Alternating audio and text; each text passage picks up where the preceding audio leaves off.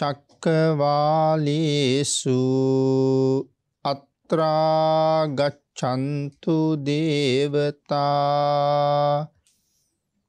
සද්ධම්මං මුනිරාජස්ස සුනන්තු සග්ග මොක්කදං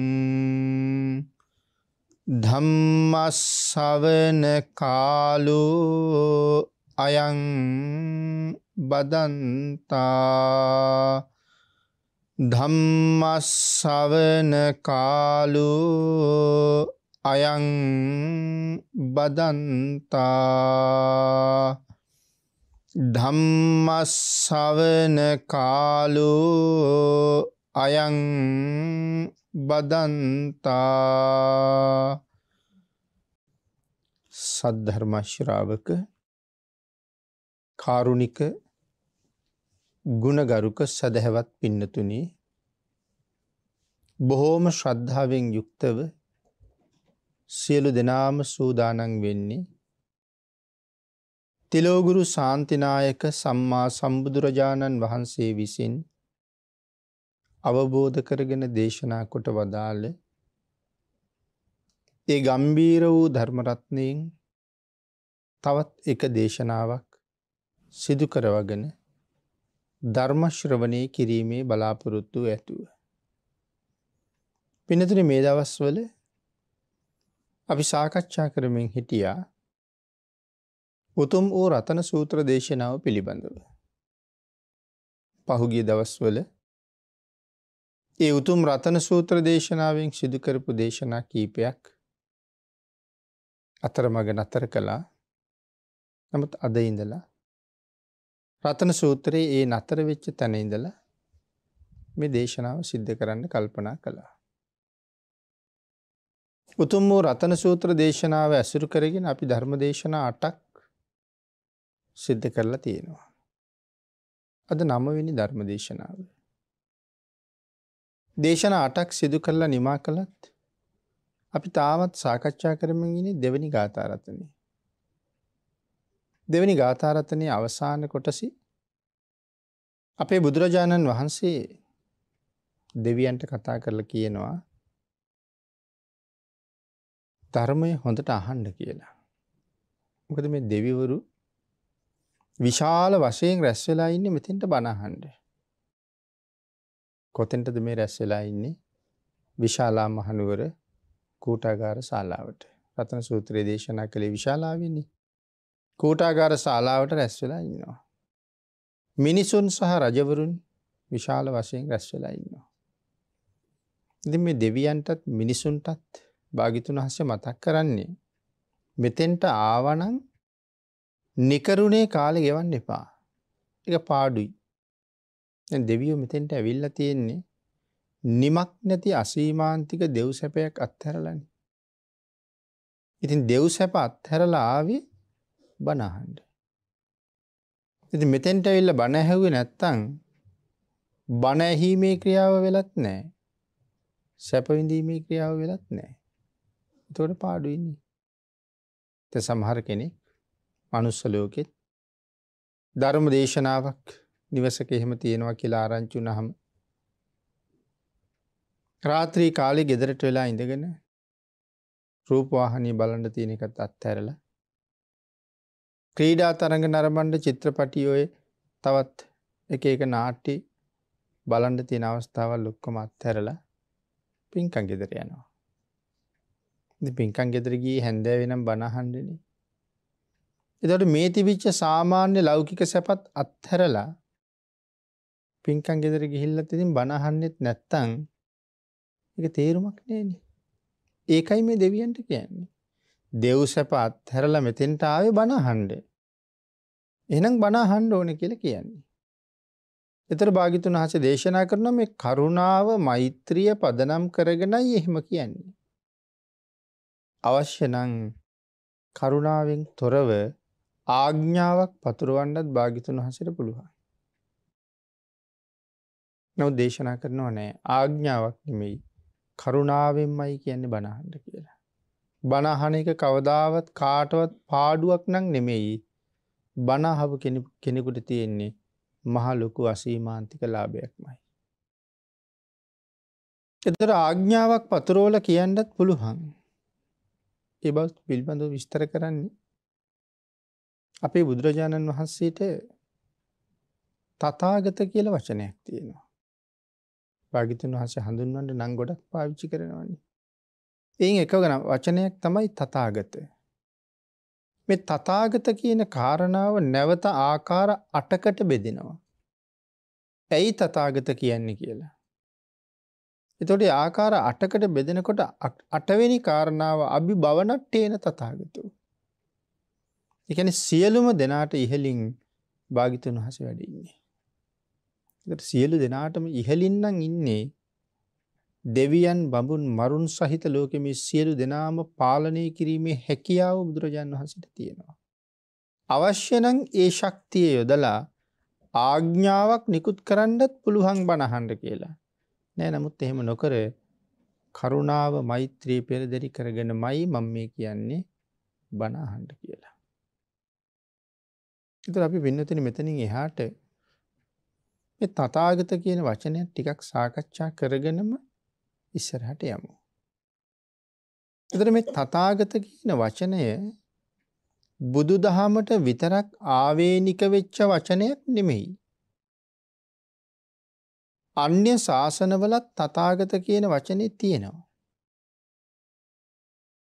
ඒ ශාසනවල තතාගත කියලා හඳුන්වන්නේ ඒ ශාසනවල පරතෙරටම ගියපු ශ්‍රාවකයට ඒ ශාසනයේ ශාස්තෘන් වහන්සේට නෙමේ. නායකයට නෙමේ.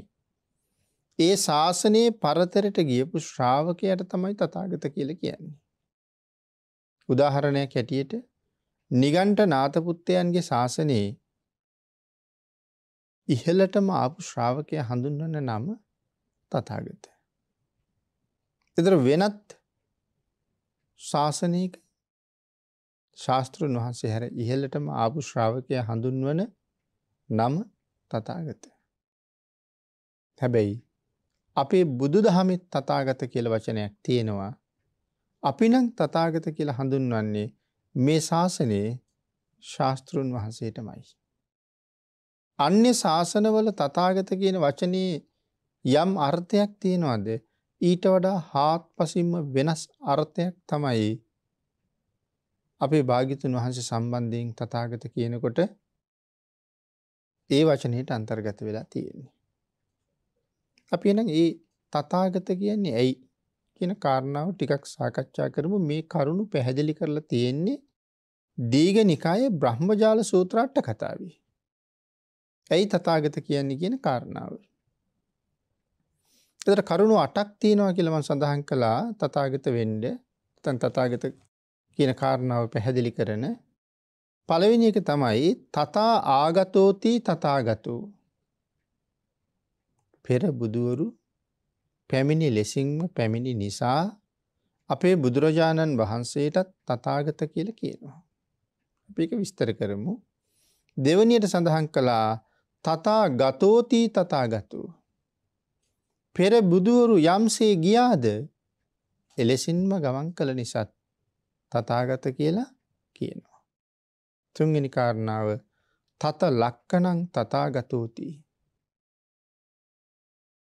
හතරවෙනි කාරණාව තත දම්මේ යථාවතු අභිසම්බුද්ධෝ තතාගතු. පස්වෙනි කාරණාව තත දස්සිතාය තතාගතු හයවෙනි කාරණාව තත වාදිතාය තතහගතු හත්වෙනි කාරණාව තතා කාරිතාය තතාගතු අටවෙනි කාරණාව අභි භවනට්ටේන තතාගතු. මෙන්න මේ කාරණා අටෙන් යුක්ත නිසා බුදුරජාණන් වහන්සේට තතාගත කියල කියනවා. අනික් ශාසනවල තතාගත කියල කියන අය මෙවන් ගාම්බීර කරුණුවලින් යුක්ත නෑ. නමුත් භාගිතන් වහසට තතාගත කියන මෙන්න මේ හේතුව නිසා. එතකොට පෙර බුදුවරු ආ මගින්ම ආව නිසා තතා ගතු කියනවා. තතා ආගතෝති තතාගතු පෙර බුදුවරු ආ මගින්ම ආව නිසා මේ නමින් භාගිතුන් වහන්සේ හඳුන්නනවා. එනිසා සඳහන් කලා විපස්සි සිකී වෙස්සබු කකුසඳ කෝනාගම කාශ්‍යප. බුදුරජාණන් වහන්සල් හය නමක්. ආදී බුදුරු කියන එකයි මේ කියන්නේ.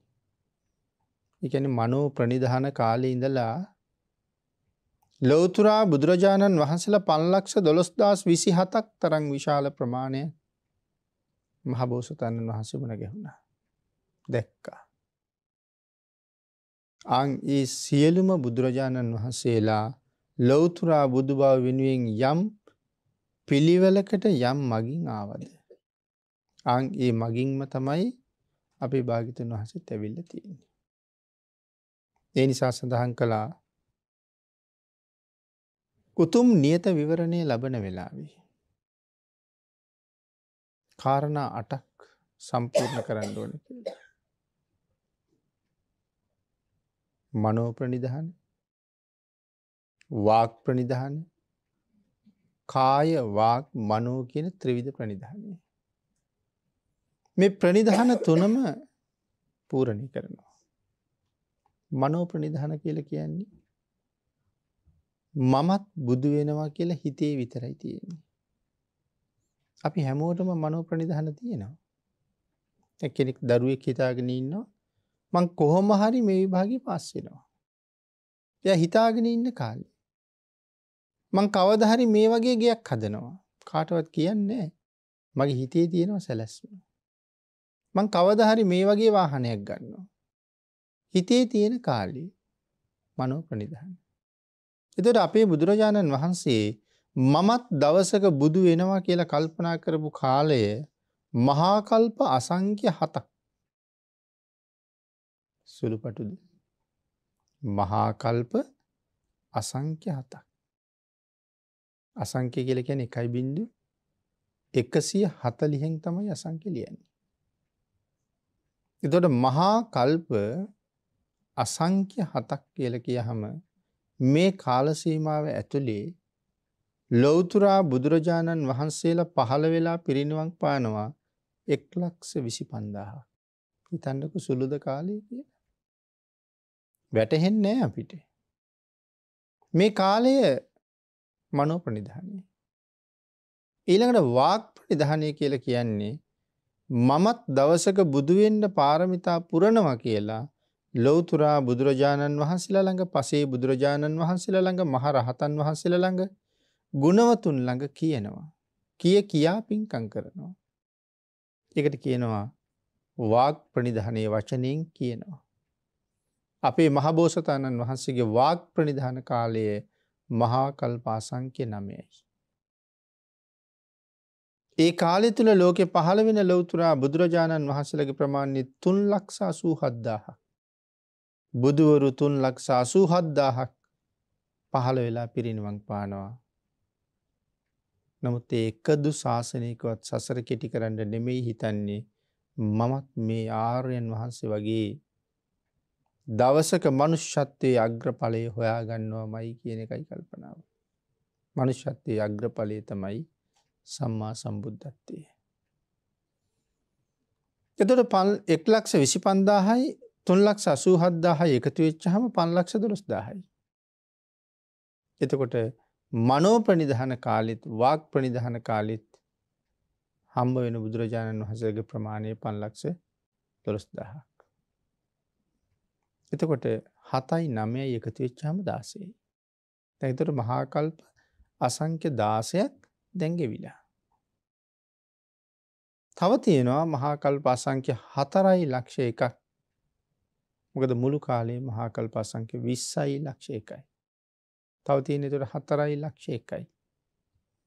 මෙන්න මේ කාලෙ තමයි අනික් බුදුරජාණන් වහසල පහළ වෙන පන්ලක්ෂ දොස් දස් විසි හත්නමක්නේ මේ කාලය තුළ අනික් භාගිතුන් වහසල පහළ වෙනවා. මෙන මේ කාලෙ තමයි නියත විවරණ හම්බවෙන්නේ. එකන අනිවාර්යෙන්ම අහවල් කාලෙට බුදු වෙනවාය කියන විවරණය තමයි නියත විවරණය කියල කියන්නේ. දීපංකර බුදුරජාණන් වහන්සේගෙන් තමයි අපේ බුදුරජාණන් වහන්සේට නියත විවරණ හම්බ වෙන්නේ. රතන සූත්‍රය කියල කියන්නේ තුනුරුවන්ගේ ගුණ පිරිච්ච සූත්‍රයක්න. ඉඳ භාගිතුන් වහස ගැන බොහෝ කරුණු දැනගන්න එක ශ්‍රද්ධාව උපදවගන්න අපිට හරි වටිනවා. දීපංකර බුදුරජාණන් වහන්සේ රඹගම් නුවරට දානට වඩිනවා. මිනිස්සු දානයට වඩින්ට පාරහදනවා. පාරහදන වෙලාවේ සුමේද තාපසතුමා අහසින් යනවා. සුමේද තාපස්තුමා අය වෙනකොට ධ්‍යානලාබී රිෂිවරෙක්. නමුත් බුදුරජාණන් වහන්සේ ලෝකෙ පහළ වෙලා කියලා දන්නේ නෑ. ඇැබි තර්කයක් තියෙන්න්න පුළුවන් කෙනෙකුට ප්‍රශ්න කරන්න පුළුවන් මව්කුසට පිළිසිඳ ගන්නකොටත් බුදුරජාණන් වහන්සනම කෙන්නේ. බුදුවෙන බෝධිසත්වයෝ අන්තිම ජීවිතයේ මවකුසට වඩිනකොට මවකුසෙන් බිහිවෙනකොටත් ලෝතුරා බුදු බව ලබනකොටත් දම්සක් දෙසන කොටත් මේ ලෝක ධාතුවේ නිමිති තිස් දෙකක් පහළ වෙනව නං මේ එකම අවස්ථාවකුවත් සුමේද තාපසතුමා ඒ නිමිති දැක්කෙ නැද්ද සඳහන් කරනවා නෑ කියලා. හේතුව මොකක්ද නෑ කියන්ට. මෙ සෑම මොහොතකම සමාපත්තියට සමවැදිල හිටපු නිසා. ඒ නිමිති පහලයිනවා දැක්කි නෑ. එහින්ද බුදුරජාණන් වහසේ ලෝක පහළ වෙලා කියලා දන්නේ නෑ. එදා මිනිස්සුන්ගෙන් අහනවා ඇයි මේ පාරක් හදන්නේ. එතකොට මිනිස්සු තමයි කියන්නේ භාගිතුන් වහසේ ලෝකෙ පහළ වුණා. අපි දානකට ආරාධනා කළා. ඒ භාග්‍ය අපට ලැබුණා දානට වඩින්න පාරහදනවා. ඇතිවෙච්ච සතුට වචනවලින් කියන්න බෑ. බැගෑපත් ඉල්ලීමක් කරනවා මටත් දෙන්න බැරිද මේ මහගු පින්කමෙන් ටිකක් කරගන්න. විශාල මඩවලක් තිබුණ මිනිස්සු දන්නවා ඒක මිනිස්සුන්ට ගොඩ කරන්න බෑ කියලා. නමුත් මිනිස්සු හොඳාකාරෝම රිෂිවරය ගැනත් දන්නවා. මේ රිෂිවරයට අවශ්‍ය නං රං රිදීවලින් හරිමේ වලපුරුවන්න පුළුවන්. ඉර්දියෙන් හරි මෙයා මේක පුරවයි. දිල තමයි බාරදුන්න පුළුවන්න මේ කොටස නිමා කරලා දෙන්න. තාපසතුමත් කල්පන කරනවා. අවශ්‍යනං රංග්‍රදී මුතුමැනික් වරුසා වස්සවල මට මේ වලපුරුවන්න පුළුවන්. නමුත් ඒක මගේ කුසලයට බාධාවක්. දෙන්න මහන්සිමයි වෙන්ඩුවනි. එනිසා පස් කපිමින් පස් අදිමින් වලපුරුවනවා. මේලායි භාගිතුන් වහස වඩිනවා. ඒ වඩිනකොට තියෙන පුදු මාශ්චර්ය. සාමාන්‍යින් භාගිතුන් වහස පාත්‍ර දහතුවත් අරගෙන විහාරයෙන් නික්මිලා අසීමිත බුද්ධ ලීලාවෙන් වැඩම කරලා නගරයට ඇතුල්ලෙන්ඩ ඉන්ද්‍ර කීලේ ගාව පිය සටහන තබනවත් එක්කම. ඒ මුළු පලාතම බුද්ධාලෝකින් වැහෙනව කියල කියන්නේ. මිනිස්සුන්ගේ ඇගේද ගෙවල්වල ගස්වල කඳූඩ පර්වතවල මේ හැම්ම තැනම බුද්ධ රශ්මී පැතිරෙනවා. ඒ විතරක්න මේ කාන්තාවන් පැළඳගෙන ඉන්න හැම ආභරණයක්ම හටන ගන්න පටන් ගන්නවා. පිරිමියයි පැළඳගෙන හිටියත් එහෙමම තමා. ඉබේම ඉබේම මේ ආභරණ හෙළ විහෙලවි හඬ නගනවා.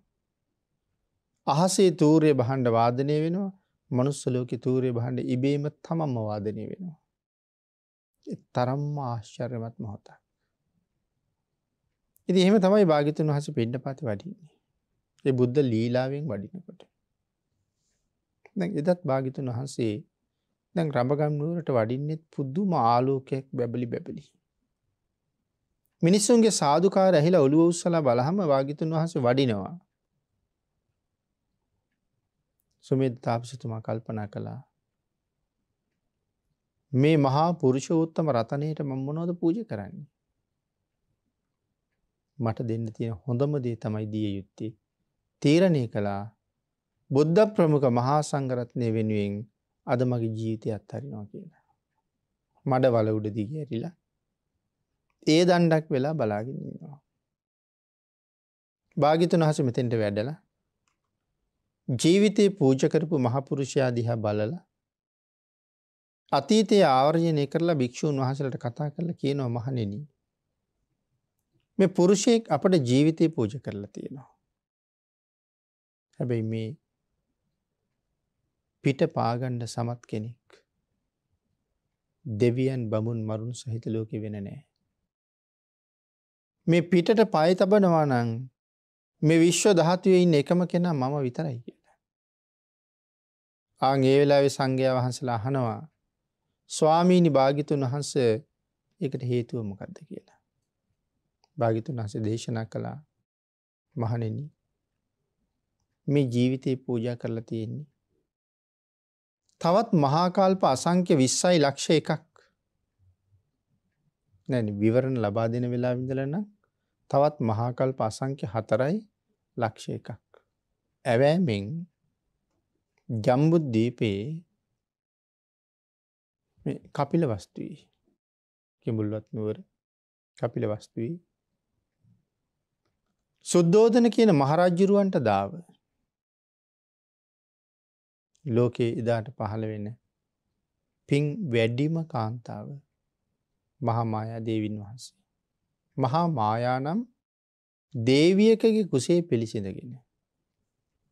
දසමාසයක් සඳහන් කරනවා මහබෝසතාණන් වහන්සේ මාස දහයම මවකුසේ ඉන්නවා කියලා. මාස දහයට එක දවසක්වත් අඩුවෙන් බිහිවෙන්නෙත් නෑ එක දවසක්වත් වැඩිවෙන්නෙත් නෑ. හරියටම මාස දාය මවකුසේ ඉන්නවා. දස මාසයක් ඇවෑමෙන් මෙලව උප්පත්තිය ලබලා. අවුරුදු විසි නමයක කාමබෝගී ගිහි ජීවිතයක් ගෙවල. සියලු කාම සම්පත් අත්හැරලා. දවස් හතකින් ලැබෙන්ඩ තියෙන චක්‍රවර්ති රාජ සම්පත්තියත් අත්හැරලා. එදාම ඉපදිච්ච තමන්ගේ සිංගිති පුතනුවනුත් අත්හැරලා ගිහි ගෙදරින් ගේල්ල. රෙසි ප්‍රෞද්ජාවෙන් පැවිදි වෙලා අවුරුදු තිස් පහක් සම්පූර්ණ වෙනකොට ලොවතුරා සම්මා සම්බුද්ධත්වය ලබන මහබෝසතාණන් වහන්සේ තමයි මේ ජීවිතය පූජ කරලා තියෙන. මෙහෙම නියත විවරණයක් ලබල දෙනකොට මේ අහස මහපොලෝ දෙකම කම්පාවෙන්ඩ පටන් ගන්නවා. අහසින් දිව්‍ය මේ පුෂ්ප වරුෂා වැක්කෙරෙනවා. දෙවියන්ගේ සාධකාර හඬ අහස් තලයේ පුරාම පැතිරිලා යනවා. දීපංකර බුදුරජාණන් වහන්සේ සුමේද තාපසතුමාට ආචාර කරනවා. අර දිගඇරිල්ල ඉන්න මඩවල වටේට ප්‍රදක්ෂිනා කර කර තාපසතුමාට සමන් මලින් පූජා පවත්වනවා. බුදුරජාණන් වහන්සේ.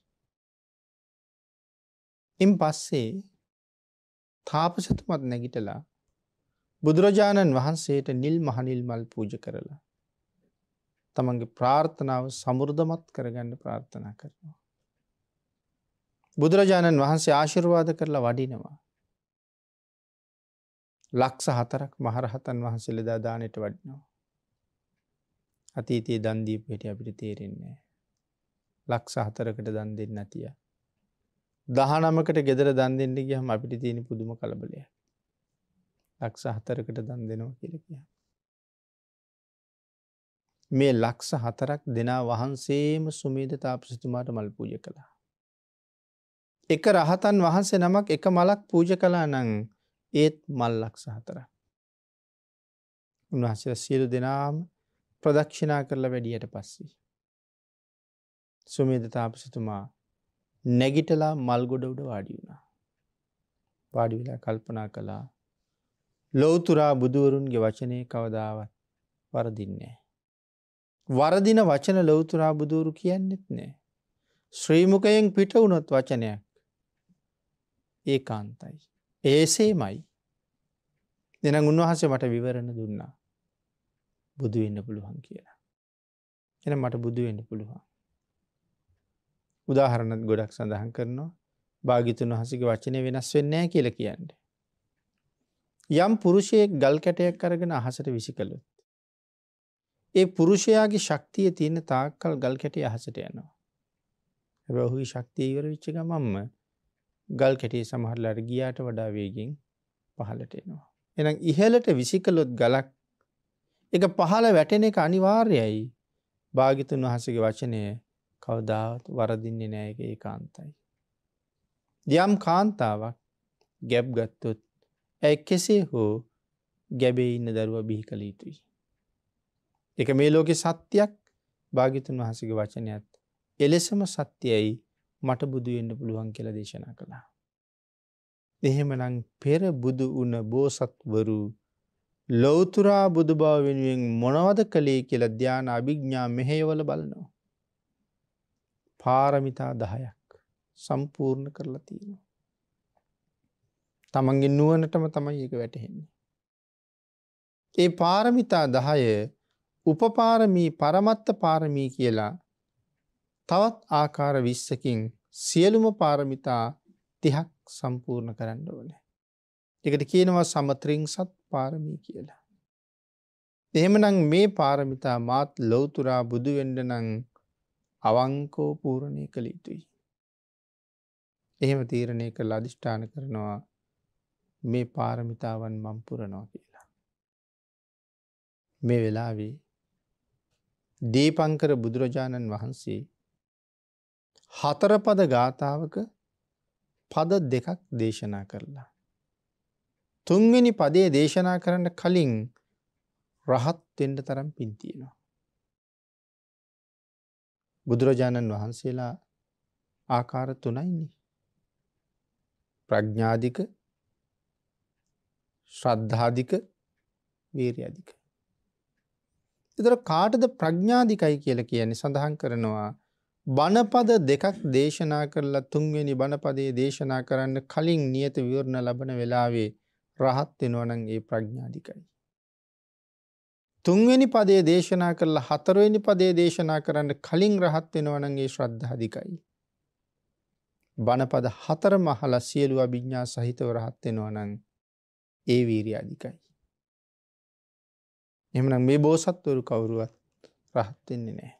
අං එහෙම බණපද දෙකකින් තුනකින් හතරකින් රහත් වෙන්ඩ තරම් පිනක් මේ වෙලාවේ මෝරලා තියෙන්ඩ ඕනේ. ඊට අනුව තමයි මේ ප්‍රඥාධික ශ්‍රද්ධාධික වීරයාධික කියන කාරණාව තීරෙන් තීරණය වෙන්නේ. ඉතර අපේ බුදුරජාණන් වහන්සේ මේ තුන් දෙනාගෙන් කිනම් කෙනෙක්ද. ප්‍රඥාධික සම්මා සම්බුදුරජාණන් වහන්සේ නම. ප්‍රඥාවෙන් අධිකයි. නවත් වීරයාධික බෝසතාණන් වහන්සේ දන්නවනං කොහොමද මේ පාරමිතාව පිරුව කියලා. අනි වාරයෙන් උන්වහසිත එක පුරණවා කියල කියන්නේ. ඒ කියන්නේ දැන් උන්වහන්සේ මහාකල්ප අසංක්‍ය දාසයකින් කරන්න ඕන වැඩේ ප්‍රඥාධික බෝසතාණන් වහන්සේ මහාකල්ප අසංක්‍ය හතරකින් කරනවනං ඒ අපිට තේරෙන්නේ නෑන්නේ මහාකල්ප අසංක්‍ය දාසයකින් කරන්න ඕන එක කොහොමද හතරකින් කරන්න කියලා. අන්න ඒක මේ වීර්යාධික බොස්තන් වහස දන්නව නං මං මහාකල්ප අසංක්‍ය දාසයකින් කරන වැඩේ උන්වහන්සේ මහාකල්ප අසංක්‍ය හතරෙන් කරනවා කියලා අනි වාරයම උන්වහස එක කරනවා කියල කියන්නේ. වීර අධික බොසතන් වහසිතේ ක්‍රමය අනුගමනය කරනවා.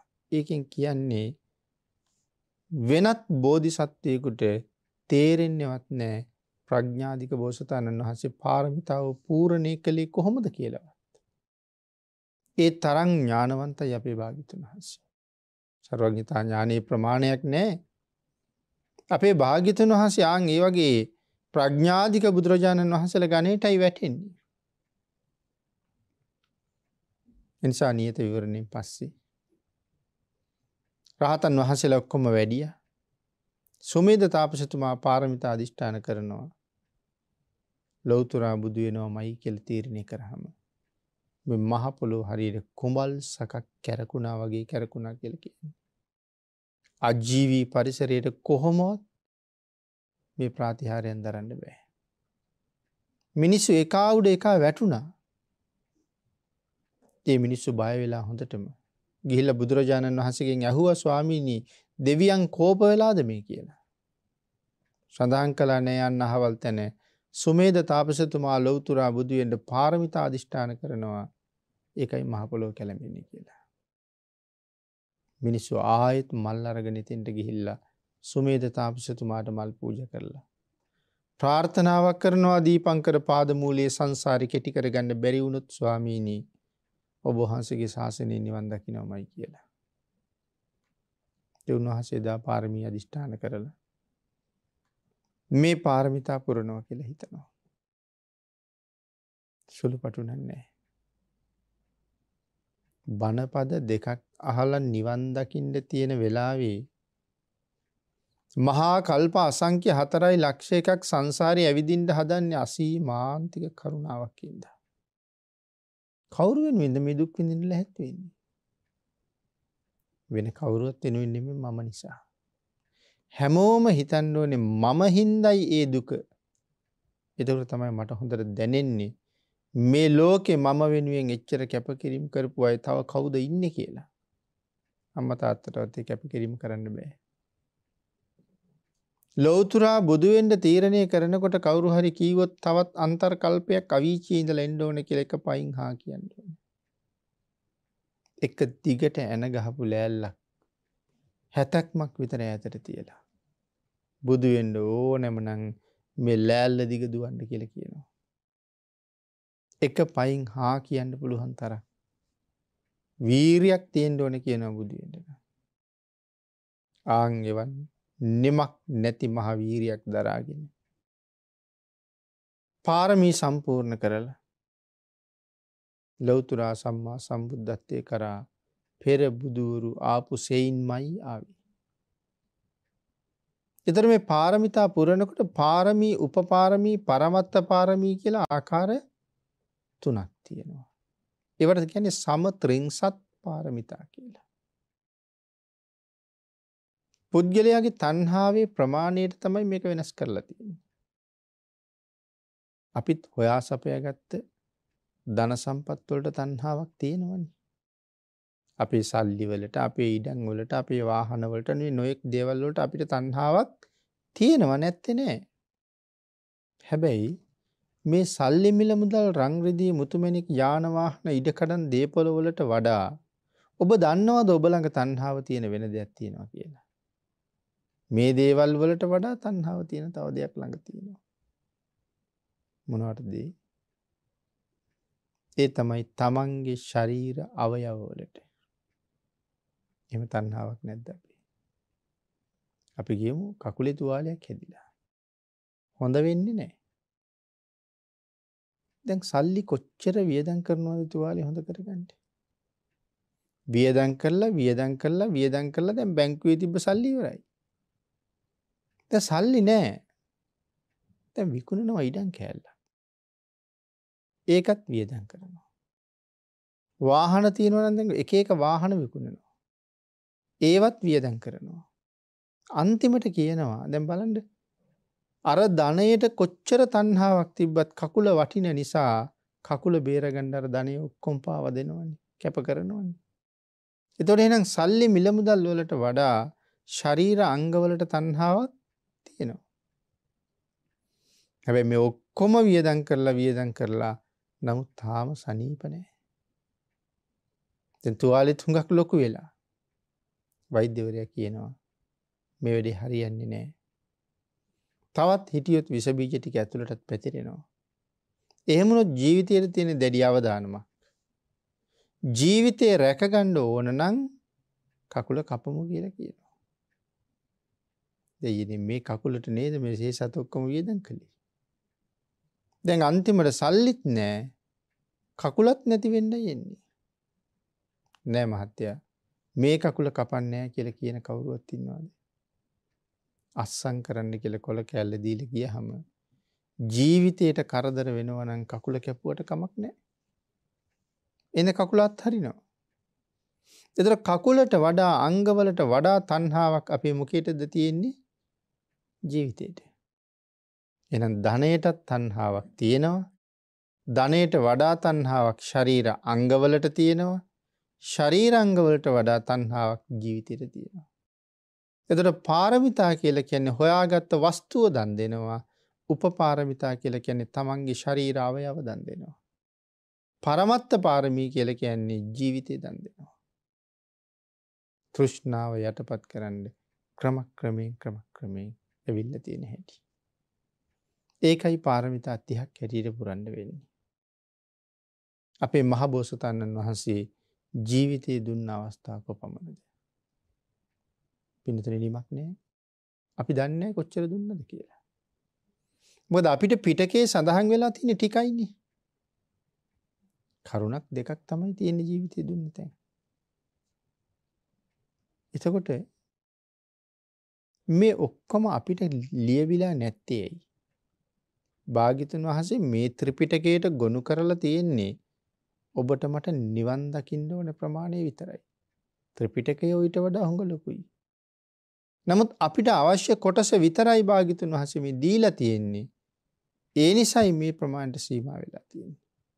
හැබැයි මේ දුන්න ප්‍රමාණයෙන් අල්ප මාත්‍රයක් අඩු කරන්නවත් මේකට අල්ප මාත්‍රයක් එකතු කරන්නවත් සමත් කෙනෙක් නං මේ විශ්ව දහතුවේ තවත් නෑ. ආර්ය පර්යේෂණය මනාව කරලා මේ දහම අවබෝධ කරල දේශනා කරලා තියෙන. එක වෙනස් කරන්න සමති ලෝකෙ කොයවත් නෑ. නමුත් අපි භාගිතුන් වහන්සේ මේ පාරමි මනාව සම්පූර්ණ කරලා ඒ පින්කම නත ලොවතුරා බුද්ධත්වය මුදුම් පත් කරගන්න කටයුතු කළා.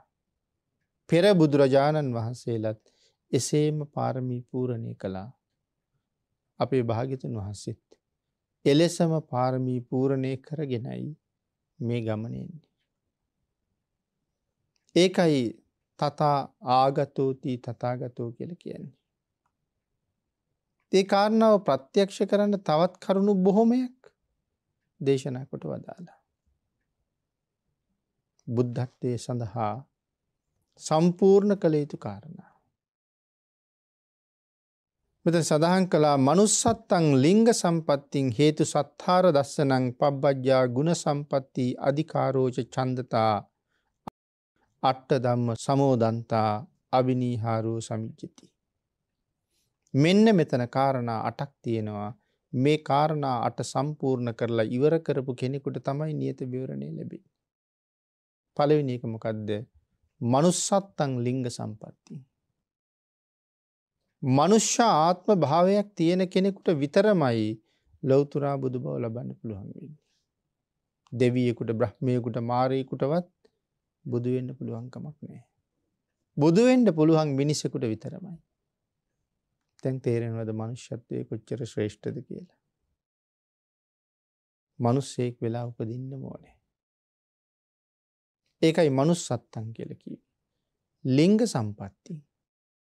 ඇයි ලිංග සම්පත්ති කියල කියන්නේ. මනුස්සයෙක් වුණාට විතරක් මදී පුරුෂයෙක් වෙන්ඩෝනේ. දෙවියකුට බුදු බව ප්‍රාර්ථනා කරන්න බෑ. බ්‍රහ්මයකුට බෑ. කැන බුදු වෙන්න බෑ කාන්තාවකටත් බෑ මනුස්සයෙක් වෙලා ඉපදුන නපුන්සක කෙනෙකුට පණ්ඩක කෙනෙකුට එහෙම කෙනෙකුටත් ලොවතුරා බුදු බව ප්‍රාර්ථනා කරන්න බෑ එනම් පුරුෂයෙක් වෙන්න ඕන මනුස්සයෙක් වෙන්න ඕන පුරුෂයෙක් වෙන්න ඕන කාන්තාවකටත් තියෙනවනං ඒ උදාර බලාපොරොත්තුව ලොවතුරා බුදුවීමේ බලාපොරොත්තුවක් ඇ මුලින්ම මොකද කරන්න ඕනේ ඇය මුලින්ම කළ යුත්තේ පිරිමි ආත්මයක් වෙනුවෙන් පින්කම් කරන එක. පින් කර කර පින් කර කර ප්‍රාර්ථනා කළ යුත්තේ පිරිමි ආත්ම භාවයක් ලබන්නයි. පිරිමි ආත්මයක් ලැබුණට පස්සේ එතනින්දල පුළුවන් ලෞතුරා බුද්ධත්වය වෙනුවෙන් පාරමිතා පුරන්ට. එන මෙත ලිංග සම්පත්ති කියල කිය හම මනුස්ස පුරුෂයකුට විතරයි ඒක කරන්න පුළුවන් කියන කාරණාව මනාව තහවුරු කරනවා. අපිට මේ කාරණාවෙන් මනුෂ්‍යත්වයේ අගය කොයි තරන් තහවුරු කරනවාද. දෙවීකටවත් බෑනි මේ වැඩි කරන්න. මිනිසකුට විතරයි කරන්න පුළුවන් ඉතින් මේ ලෝකයේ ප්‍රධානය බවට පත්වෙන්නෙත් මිනිසෙක් නිසා මිනිසෙකුගේ ශ්‍රේෂ්ඨත්වය හරියටම කල්පනා කෙරුවොත් ඒත් අපිට නොතේරෙන තරම්. හැබැයි ඔහු ශ්‍රේෂ්ඨයෙක් බවට පත්වෙන්නේ ලොවතුරා බුදුරජාණන් වහන්සේගේ දහමට කීකරු වෙන තරමට තමයි. අගේ නිසා එවන් උතුම් ශ්‍රේෂ්ඨ මනුස්ස ජීවිතයක් ඔබට මට අපි හැමෝටම ලැබිල තියෙනවා. ඒ මනුස්ස ජීවිතය බුද්ධාන්තරයක ලබාගත්ත මනුස්ස ජීවිතයක් බවට පත් කරගණ්ඩ අපි පෙර සංසාරය බොහෝසේ පින් කරලා තියෙනවා. එතර මනුස්ස ජීවිතයක් ලැබුණ එක බුද්ධාන්තරයක ලබන්ඩ හේතු සම්පත් අපිට තිබුණා. ඔය දෙකම ඇරුණ හම මේවාගේ රටක උපදින්ඩ පෙරකරපුපුන් විශාල වශයෙන් ගෙදන් කළා. මොනවාගේ රටක උපදින්නද ලංකාවවාගේ රටක උපදින්ට. මොන තරං පින් කරන්න ඕනේද. ඇමරිකාවවාගේ ධනකු වේර රටක ජනාධිපති වෙනවට වඩා ලංකාවවාගේ රටක යාචකයෙක් වෙන්ඩ පින්තියෙන්ඩෝන. හැබැයි ඒක මේ කාලෙ තේරෙන්නේ මේ කාලය අපේ කල්පනාව මේ රට ජීවත්තෙන්ඩේ තරම් සුදුසු රටක් නෙමේ කියලා. එනිසා තමයි තෙල් පෝලිං වගේම විදේශ ගමන් බලපත්තරවලට පෝලිමේ ඉන්නේ. දහම නොදන්න නිසා. අපේ යුතුකම අපි හරියට කලානං එහෙම වෙන්නේ. එකට හේතු භාග්‍යතුන් වහන්සේට අකීකරවීම ප්‍රතිඵලයමයි. ඇයි එහෙම සඳහන් කළේ භාගිතුන් වහස අපිට දේශනා කළා මව්පියන්ගෙන් දරුවන්ට වෙන්න ඕන යුතුකම් පහක් තියෙනවා කියලා. පළවෙනි එක තමන්ගේ දරුව පවෙන් වළක්වන්න ඕනේ. දෙවැනි එක දරුවට සත්පුරුෂ ඇසුරක් දෙන්න ඕනේ. තුන්වෙනි එක හොඳට උගන්වන්න ඕනේ. දායාද බෙදලා දෙන්න ඕනේ. හොඳ තැනකින් ආවාහ විවාහ කරලා දෙන්න ඕනේ. එකයි දෙකයි තියෙනවද අපි ගාව දෙකම නෑ හොඳට කල්්‍යයාන මිත්‍රයන්ගේ ඇසුරකුත් නෑ පවින් වලක් කලත් නෑ හැබැයි සමහර මව්පියූ පාසල ගාවන්න පාන්දර පහහිඉඳලා දරු අරගෙන ගිහිල්ල පාන්දර පහටත් හත වෙනකම් පන්ති තියෙන. හොඳට උගන්නනවා කියන කාරණාව හුඟක් දෙනා ළඟ උපරිමයි. නමුත් ඒ ඉගෙනගත්ත අයට දහම නෑ. දහම නැති නිසා පව්පින් දන්නේ. ඒගොල හොඳට ඉගෙනගෙන මේ රටේ නොයෙක් උසස් ශේෂත්‍රවලට එනවා. එල බොහෝ දෙනා කරන්නේ වංචා කරන එක. ඒක ආදීනවේ මොකක්ද කියලා දන්නේ දන්නේ නෑ. තමන් එතෙන්ට ගේන්ට මහන්සි වුණ අම්මට සලකන්නෙත් නෑ. තාත්තට සලකන්නෙත් නෑ. ආදරයේ දයාව කරුණාව මෛත්‍රියත් නෑ. වැඩිහිටි ගෞරවයත් නෑ. තුනුරුවන් ගැන දන්නෙත් නෑ. බොහෝම උසස් නිලධහරින් එෙනවා. අවට අඩ්ඩුම තරම දැහැත්වටියක්කොත් හදා ගන්න දන්න තියයින්න. බුදු මැදුරට යන්නේ කොහොමද කියල දන්නේ. නිකන් ගිහිල් අහන්ඩකොම අරහන් කියන්නේ ඇයි කියලා උත්තරයක් කම්බීද බලන්ට. සම්මා සම්බුද්ධෝ කියන්නේ ඇයි කියල බාණ්ඩක උත්තරයක් හම්බේද කියලා. ඇි කුච්චර දේවල් පාඩන් කරලා දොතින්ට නොමුත් භාගිතුන් වහසේ ගුණ නමේ තේරුමොත් දන්නේ. අන්න ඒ හින්ද ඒ මිනිස්සු පව් කරන්න බයන්නේ. ඒක ප්‍රතිඵලයක් නෙමේද අද බුක්ති විඳින්නේ. යමෙකුට අපි චෝදනා කරනවා නම් ඒ අයත් පවෙන් වලක් කලා තිබ්බනං මහජන දේපළු හරිහරණය කරන එක වැරදියට අයතා විදිහට උනොත් උපදින්න වෙන්න මොන නිරේ මට්ටමේද කියන කාරණාව දැනගෙන හිටිය නං වංචාව කරන්න හදනකොට තේරෙනවා කොහෙද මේ යන්න හදන්නේ කියලා. ඉතින් අපි වරද්දලා තියෙන භාග්‍යතුන් වහන්සේට අපිම අකීකරු වෙලා. නැත්නම් භාග්‍යතුන් වහන්සේගේ කරුණාව කෝටි ලක්ෂයක් සක්වලකින් වැඩියෙන්ම හම්බෙච්ච රට මේක. ඒකට කොහොමද මේක නරක තැනක් වෙන්නේ? ඒකයි මම සඳහන් කළේ මේ වගේ රටක උපදින්න වෙනම පින් කරන්න ඕනේ කියලා. නමුත් භාග්‍යතුන් වහන්සේට අකීකරු නිසා අපිට සරණ ලැබෙන්නේ නැහැ කියලා තමයි කියන්නේ. 100ට 100ක්ම කීකරු ශ්‍රාවකයන්ට සරණ ලැබෙනවා මිසක් 100ට එකක් දෙකක් කීකරු වෙච්ච අයට ගුරුවරයා සලකන්නේ. ගුරුවරයා ආදරේ තියෙන 100ට 100ක්ම ගුරුවරයා කියන දේ අහන ශිෂ්‍යයාට 100ට එකක් කරගෙන ගියපු කෙනා දිහා බලන්නේ නැහැ. ඉඳ අපව හිතන්න වෙලා තියෙන වැරද අපි. එනිසයිම සඳහන් කළේ මේ වගේ රටක උපදින්න මේ සංසාරි කොයි කාලේ අයි භාග්‍යයක් ලැබීදන්නේ. වැරදි නිවැරදි කරගත්තොත් අදට වඩා හොඳ රටක් අනාගතයට තියෙයි තාමත් එන්ඩ එන්ඩ තුනුරුවන්ට අකී කරුණං මීට වඩා බොහොම පහත් තැනකට ඇද වැට නොගෙන කිය වෙන සැකයක් නෑ. එනිසා නමුත් මෙවන් උදාර තැනක උපදින්ට මේ භාග්‍ය ලබාගත් අපි. එයින් ප්‍රයෝජන අරගෙන මේ සංසාරයෙන් එතර යන්ඩ වීර්ය වඩන්ඩ තියෙන හොඳම තැනඉන්න.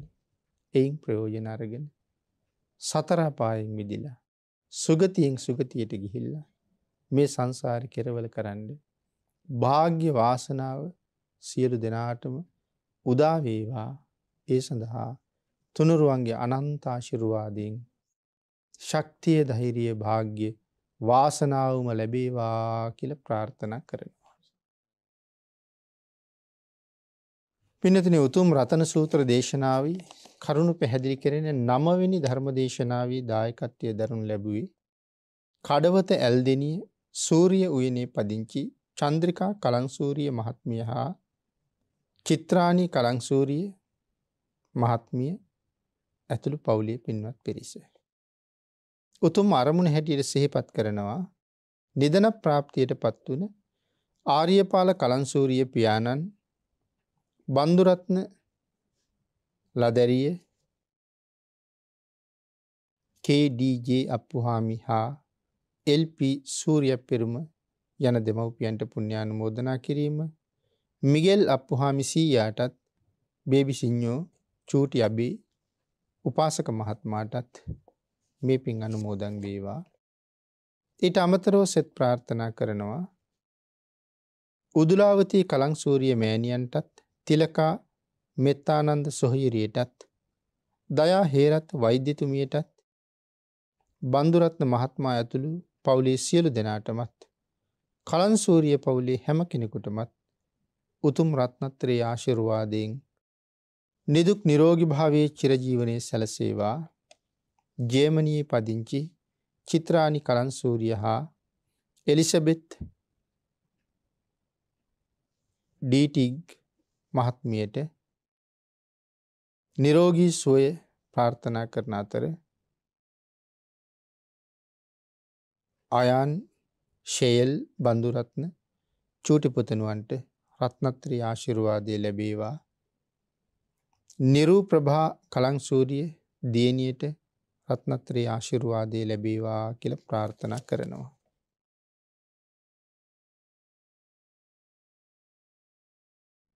කලංසූරිය පවුලේ චන්ද්‍රිකා මහත්මිය සහ චිත්‍රාණි මහත්මිය විසින් පුණ්‍යානුමෝදනා කළ සියලු දෙනාටම පින් අනුමෝදන් වේවා ආශිර්වාද කළ සියලු දෙනාටම රත්නත්‍රයේ ආශිර්වාදයෙන් නිදුක් නිරෝගී භාවී චිරජීවනයේ සැලසේවා. ඊ타ම ඉක්මන් භවයක ඊ타මත්ම කෙටි කාලයකින් සැප සහිත ප්‍රතිපදාවකින් අමා මහ නිවනින් සැනසෙන්න මේ කුසල ධර්මයන් හේතු වාසනා වේවා කියලා ප්‍රාර්ථනා කරමු.